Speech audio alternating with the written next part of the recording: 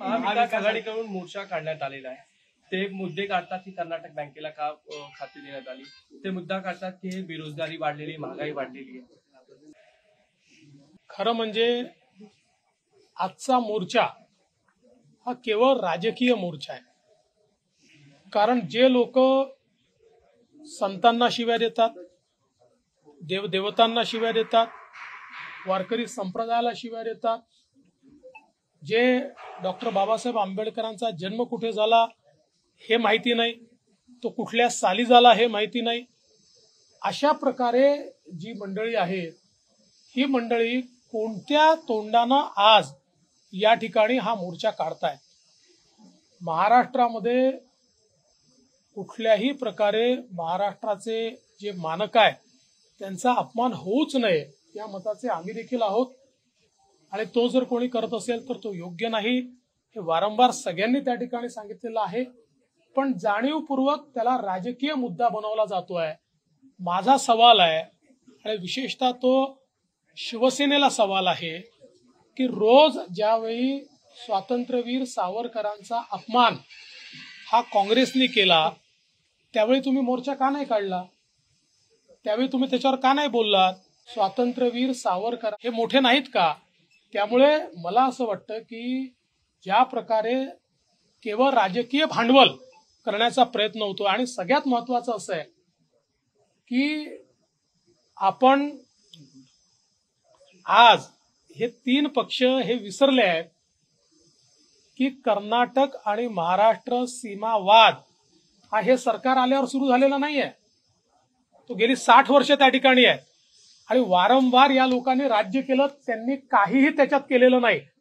आणि आता कोणत्या तोंडाने या ठिकाणी सांगतायत? त्यामुळे मला असं वाटतं की निव्वळ मुद्दे न उरल्यामुळे राजकीय दृष्ट्या काढलेला हा मोर्चा या ठिकाणी आहेत. आणि मी पुन्हा एकदा सांगतो छत्रपती शिवाजी महाराज डॉक्टर बाबासाहेब आंबेडकर हे आमचं श्रद्धास्थान कालही होते. आजही यात आणि उद्याही राहत. मुंबईला तोडण्याचा प्रयत्न सुरू आहे. भाजपकडून असा एक आरोप उद्धव ठाकरे मला असं वाटतं की उद्धव ठाकरेंची कॅसेट तिथेच अडकली आहे. आणि गेले दहा वर्ष तिथेच अडकली आहे.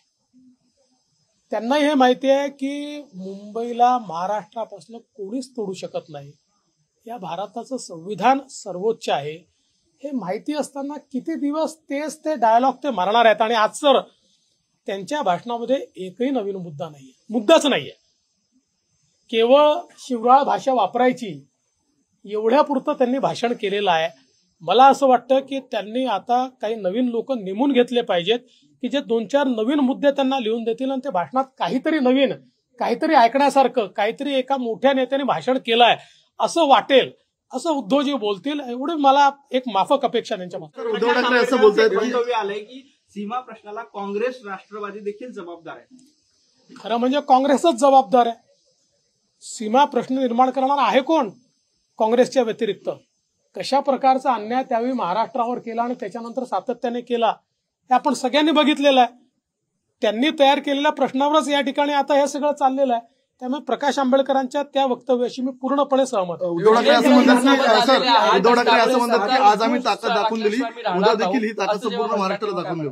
खरं म्हणजे तीन पक्ष एकत्रित येऊन एवढा लहानसा मोर्चा निघाला आज तुम्ही कोणीही ड्रोन शॉट नाही दाखवू शकला आज क्लोजअप दाखवावे लागले. दाखवला का कोणी ड्रोन शॉट नाही दाखवला. कारण ड्रोन शॉट लायक मोर्चाच नव्हता. आम्हाला हे आधी माहिती होतं. आम्ही त्यांना विनंती केली होती की आझाद मैदानावर या. पण त्यांच्या जो आझाद मैदाना एवढी संख्या राहणार नाही त्यांना माहिती असल्यामुळे जिथे रस्ता लहान होतो निमुळता होतो अशी जागा त्यांनी घेतली.